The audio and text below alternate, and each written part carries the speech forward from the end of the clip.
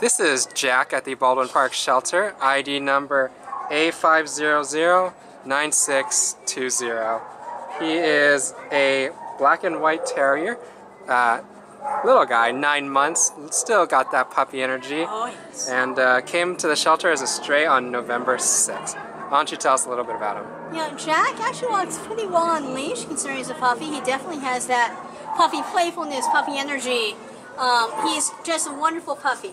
The one thing we need to say though is he has ringworm. So you can see right there. And so that is is easily treated, but it can, is contagious at this moment in time. He would be perfect though in any home. He's just a wonderful, playful, friendly puppy. Um, whenever you think of a puppy, that's him.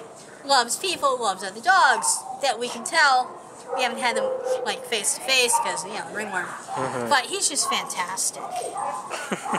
I mean, this is the calmest he's been.